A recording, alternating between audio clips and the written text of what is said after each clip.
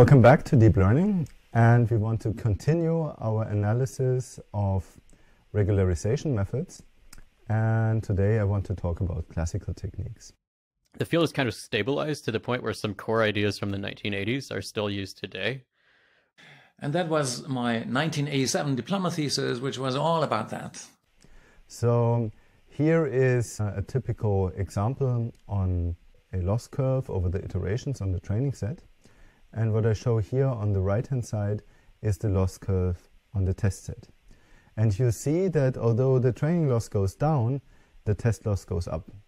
So at some point, the training data set is overfitted and it doesn't produce a model that is representative for the data anymore.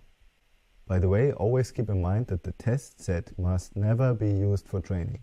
If you trained on your test set, then you will get very good results, but it's very likely to be a complete overestimate of the performance.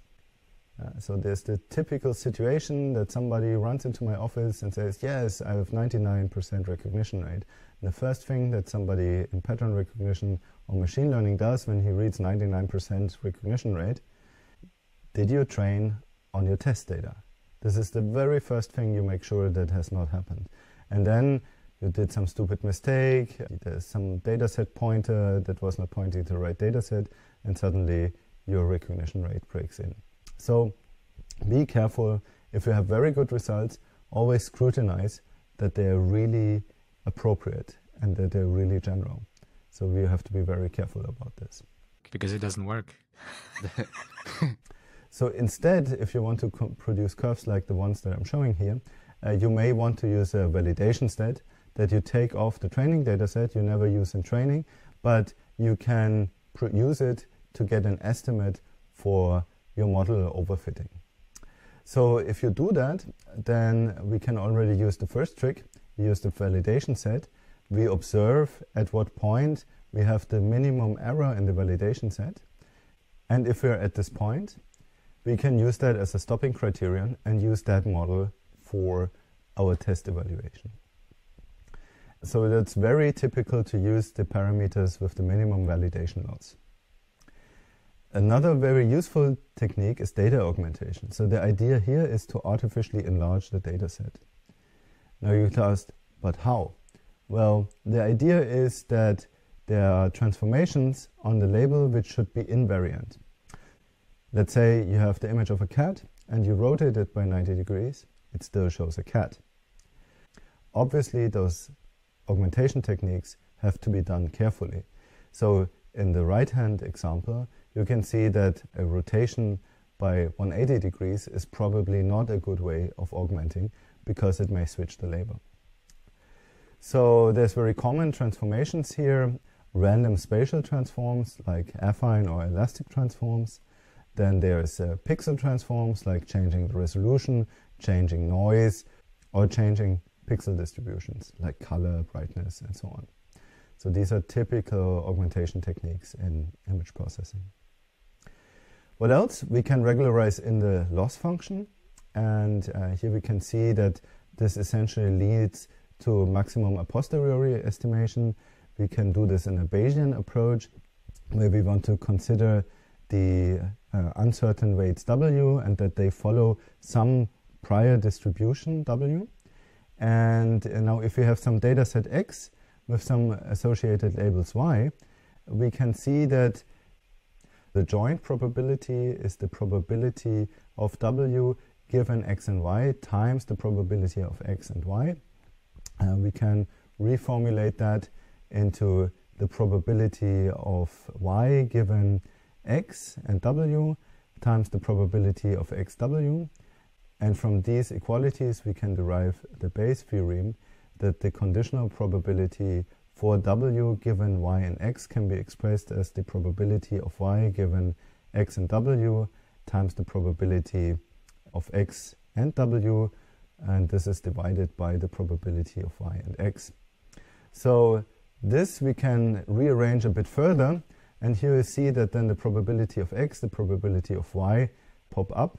You can even take out the probability and this then cancels out, which then finally yields the following map estimate. So we can actually seek to maximize the joint probability as maximizing the conditional probability of y given x and w times the probability of w. So typically we solve them as maximum likelihood estimators, uh, the, the left-hand side problem, times the prior on w, which is the right-hand side problem. So we essentially can say this is a maximum likelihood estimator, but we augment it with some additional prior information. And here the prior information is that we have some knowledge about the distribution of W. For example, W could be sparse. Or we could draw some other source of knowledge where we learn something about W. In image processing, what is used very often is, for example, that natural images are sparse with respect to their gradients. Uh, so there's all kinds of sparsities that can be employed by such a prior in typical image processing problems.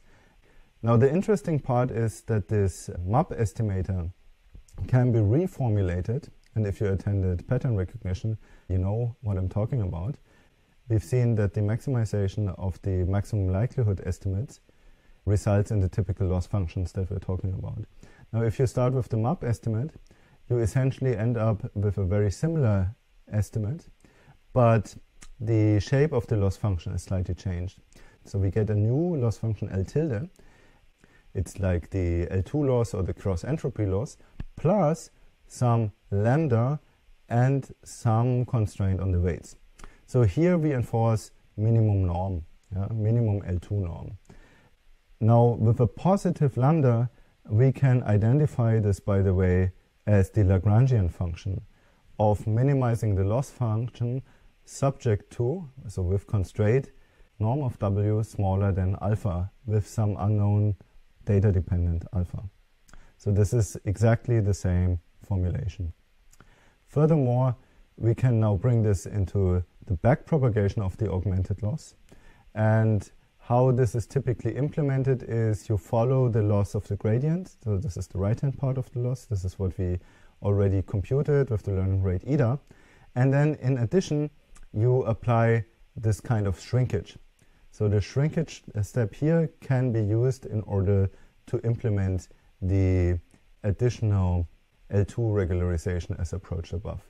So the nice thing is now that we can simply compute the backpropagation as we used to do it, and then in addition use the shrinkage in the weight update. So we also get very simple weight updates and that allow us to involve those regularizers. If we choose different regularizers, the shrinkage functions change. So if we would optimize the training loss now for lambda, we would usually receive lambda equals to zero because every time we introduce a regularization, we are doing something that is not optimal with respect to our training loss. But of course, we introduce it because we want to reduce the overfitting. So this is something that we cannot observe directly in our training data, but we want to get better properties on an unseen test set.